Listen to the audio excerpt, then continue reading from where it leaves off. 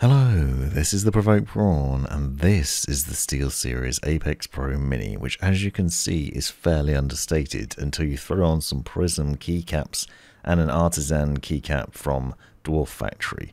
And in this video I'm going to show you how I did that and all the things of interest about this keyboard while I unbox it and show you the highlights. Now this is the Apex lineup of keyboards crammed into a 60% form factor. So they've taken the already popular Apex lineup and crammed it into an even smaller keyboard. It's available in wired and wireless, and in this video I'm going to be unboxing the wireless version and talking to you about the various highlights of it, what it's like to use, and the things of interest. Now, this is an interesting keyboard. If you're not aware already, it comes with OmniPoint 2.0 switches. That means they have adjustable actuation. These are new and improved and faster responding than ever before. So they're not only 11 times faster response time and 10 times faster actuation than traditional mechanical switches, but they're also designed so that you can adjust the actuation between 0.2 millimeters and 3.8 millimeters on a per key basis. So key by key, you can adjust the actuation across the entire keyboard which is pretty nuts. It's also improved from the previous Switch designs. It's actually shorter distance, so you can adjust it in various different setups. And at just 0.2 millimeters of actuation, SteelSeries claims a 0.5 millisecond response time for the fastest keystrokes in the world. So some bold claims from a tiny, tiny keyboard. Inside the box, you obviously get the keyboard itself, a USB-C charging cable, a keycap puller, and wireless dongle. So you have the usual wireless setup with 2.4 gigahertz and also Bluetooth connectivity. And this is an interesting little tiny keyboard that looks fairly understated when you first get out of the box. As I showed at the beginning, it's not that in your face, it's quite understated and that's going to be beneficial, I suppose, depending on your personal preference. The claim is 30 hours with wireless on battery or 40 hours with Bluetooth. That's obviously going to vary depending on the RGB lighting you're using. And as I'll show later on, the RGB lighting isn't that striking with those keycaps, the standard keycaps, and that's worth bearing in mind. And as I'll show, that's because they are PBT double shot keycaps, which means they don't let through a lot of lighting. Now, also included in the box, you get the USB-C wireless dongle and an adapter. So if you don't have USB-C, there's no need to worry. You can plug in the USB-A cable and then use the adapter and the dongle to get that wireless connection. So you have the easy setup there plug and play and obviously you can use SteelSeries engine software to customize the actuation and the lighting and I'll show more of that later on so stick with me to the end to see how you can adjust those things. A closer look at the keyboard and you'll see that there are two layers of lettering so you can actually see what the secondary action is on the switches on each of the buttons. On the underside you'll note that you have a flip up feet so you can adjust it in various different levels of height. Now when I first got this out of the box I was struck by the sort of design of it, the chunky frame and the overall feel of it and I'll show you what I mean in a second but when you turn it on you can see that it flashes depending on which mode you've chosen. So I've gone for 2.4 gigahertz here and it's flashing white until you connect the dongle to your PC and then the RGB lighting kicks in. If you choose Bluetooth mode, it flashes blue instead to let you know that it's in pairing mode. But here you can see a taste of the RGB lighting. It's not that fancy, I don't think.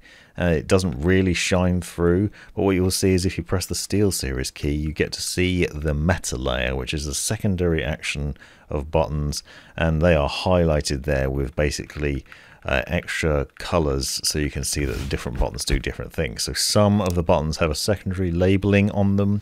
Those then have extra actions. So when you press that button, you get access to the other things that you'd normally see on a keyboard, including the function row. So you'll notice, for example, that the function row is missing from the top. You only have the number row, but if you press the SteelSeries button, you can then access the function row.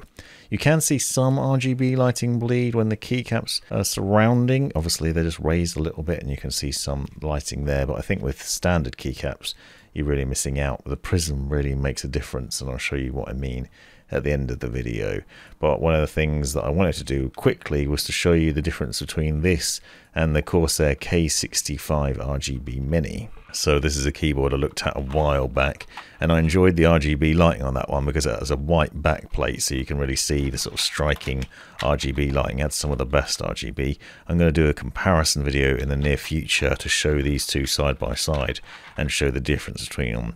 I think the SteelSeries Apex Pro Mini is certainly more interesting than the K65 because it has those adjustable switches and the uh, Corsair one uses cherry switches so it's not as fancy. Also the frame is a little bit chunkier but in terms of the RGB lighting it's actually a little bit nicer looking. Also from a sound point of view curiously I found that the switches sound quite similar. So the Omnipoint adjustable switches although they are tweakable they do have a sort of cherry sound to them which is disappointing if you're really into fancy switches but for most gamers it'll be perfectly fine. I'm going to leave a proper sound test at the end of the video so you can hear the key sounds as well. So stick with me if you're curious about that. So what you're seeing so far is an interesting keyboard, but quite an understated one. I feel like it's not terribly in your face and it's not as flashy externally as it actually is internally. There's a lot more going on than meets the eye, and I think that's important to bear in mind because you don't really find out what's going on with it until you jump into the software or until you read about the specs and the features of it. Also, when you get your hands on it and start typing, it really just feels like a standard average gaming keyboard, uh, 60%. Now, I'm generally not a fan of 60% keyboards. I don't like losing the directional arrows, for example, the function row and other keys. Having to press an extra button to access those things is a faff. However, if you like a small form factor keyboard that kind of sits out of the way and doesn't take up extra space that you could be using for your mouse, then you might well prefer this. So this is certainly one of the nicer options that I've seen out of the small compact keyboards that I've tested.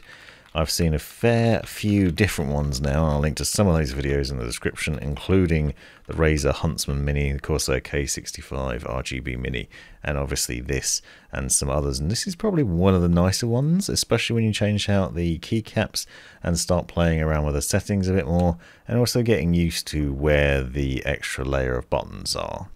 One of the other things that's interesting about these switches is they're not only customizable in terms of the actuation, but you can also program two levels of button press. So you can set two levels of actuation in here. So it will activate and do one action, and then you can press it harder and it will do another action, which is really interesting. One use case for this is suggested that you could have for example, W set for walk, but then if you press it a bit harder, it'll then make your character run in a game. If you could think of other actions, or you could carry out two actions logically from the same key, then you have the ability to do that. A close look at the Apex Pro switches, and you'll see that classic SteelSeries setup there. They are adjustable OmniPoint switches, but they look like Cherry MX switches.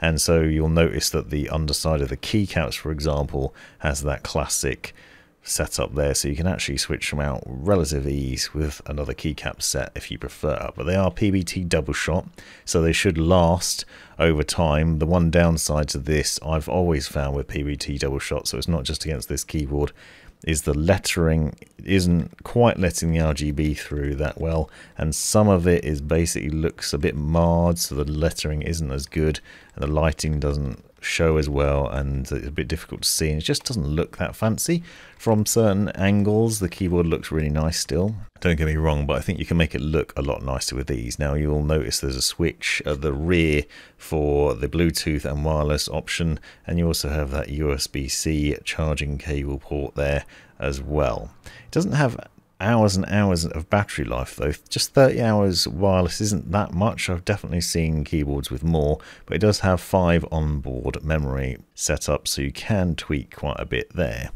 Now this is a artisan keycap that I purchased from Dwarf Factory. I'd recommend checking them out if you're into sort of additional keycaps and you want something curious, there are a number of different ones and some really cool ones. I found this one basically has a bear sitting playing a guitar with some penguins sitting next to him. A bit random, but I thought it looked cool and I thought it would be a nice addition to a keyboard. I actually bought this quite some time ago now I'm finally applying it to a keyboard that probably deserves it.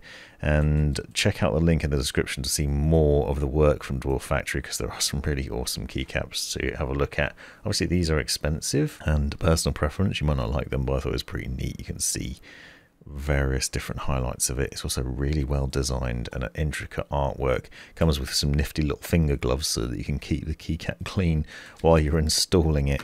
I'm replacing my escape key, but obviously I could have used some other key. I just thought it would be a nice addition here at this point on the keyboard. The next step is to upgrade the rest of the keycaps to match. Now I got hold of SteelSeries Prism caps, kindly sent over by SteelSeries, which are available in white, black or pink and these are pudding keycaps, uh, PBT as well, so they're double shot still, and they're universal.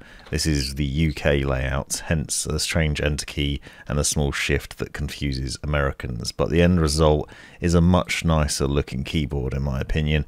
I really like the white on black, and also because it's pudding, it means it lets through a lot more RGB lighting, so you can see the RGB shining through the lower half, but also the lettering sticks out really nicely.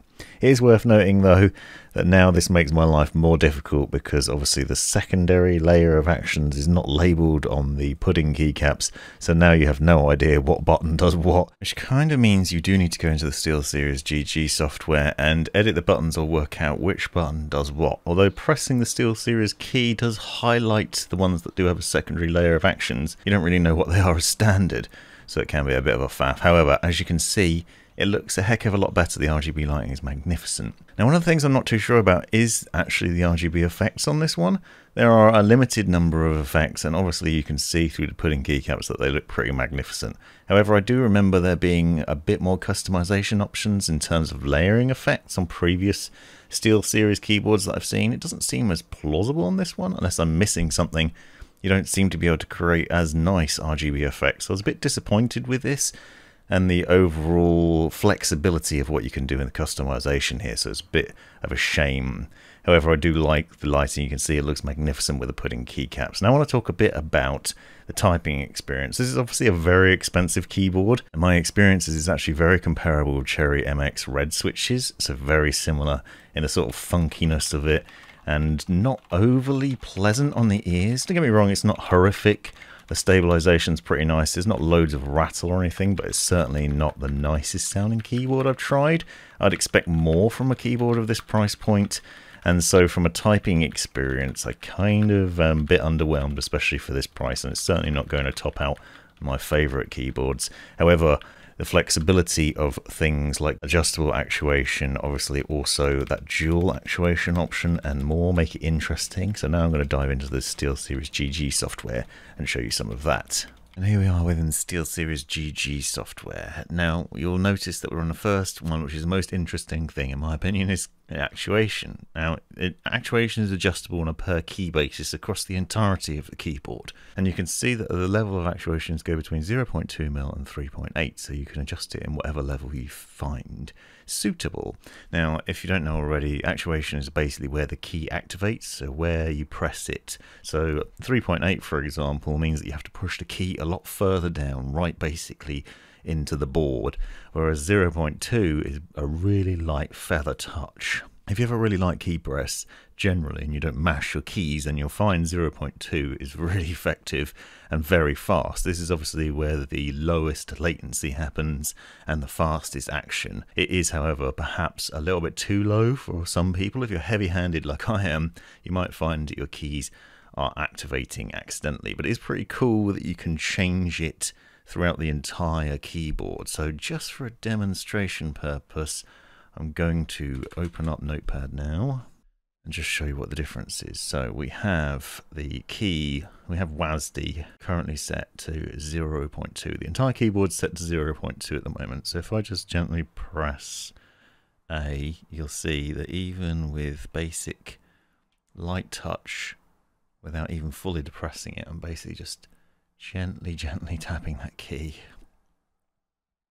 Obviously you can still press it all the way down, it'll activate as well, but you really just need a very gentle touch. Barely even pressing it, making no sound at all. Now, if I change it and we go all the way to 3.8 and save that, obviously you could do it across the entire keyboard or you can do it on a per key basis, but now you'll see if I if I'm pressing the key, nothing's happening. If I push it all the way down, obviously it then activates. And there's said to be 37 levels of activation in here, so obviously you can choose what sort of level you want to be at. So you can see 3, 2.8, 2.6, for example, 1.9. Now, for reference, Cherry MX switches usually activate at around 2. So that's where you'd normally be sitting at. And this keyboard defaults to 1.8. So even just out of the box, it's already faster than your standard Cherry keys. But you could probably go for 1 or something if you wanted a fast one. If you're gaming and that's your main aim, obviously you want to have the fastest actuation possible. So pretty neat. And the fact that you can obviously do it across multiple keys or just individual ones. So you might choose, for example, just to do WASD like that. So you can press control and then just select the keys that you want in order to do it. Or you can select by dragging. So you have a selection of what you can do and what, how you do it. And basically then you can adjust the entire thing or just individual keys, which is pretty neat. Now you also have the dual bindings and dual actuation. So this is where you can set two levels of actuation. So we could set, for example, at 3.8, and that's our secondary layer of actuation. So now we have 1.4 as a standard, and then 3.8 is the secondary. You can then go into your dual bindings, so you can select a key that you want, and you could have this, so you can set it up with slightly different setups so you can actually choose what you want to do. We could, for example, have a macro set up on a key press, or you could have keyboard buttons. So now, for example, I've just made WASD Shift and W so that when I'm pressing W all the way down into its full actuation point, that means that I'm then running. So if you're in a game where shift is your run mechanic, when you're pushing and holding the W key down, you're now running. But if you're gently pressing it, you're just doing the walk without holding shift. So that's one option. Obviously, a lot of other potential options. You can see that you can add dual activation bindings, basically the entire keyboard. You just need to set the second layer of where it is. Obviously, the logical thing to do is to have the highest point as your standard, and then the lowest point as the second binding. Otherwise, you're probably going to struggle to find where the second point is. That would be pretty neat though. Now meta bindings is slightly different. This is where you press that SteelSeries key. So as I was saying, you press the SteelSeries key in the bottom right and that activates the secondary layer. So you can see that you have print screen on P, for example. We also have media playback buttons on B, N, M, uh, the arrow keys and question mark, and some other layers as standard, and that's where you get your secondary layer. What you'll notice is I actually have two here, J and K, because one of the biggest frustrations for me is not having arrow keys, so just directional arrows.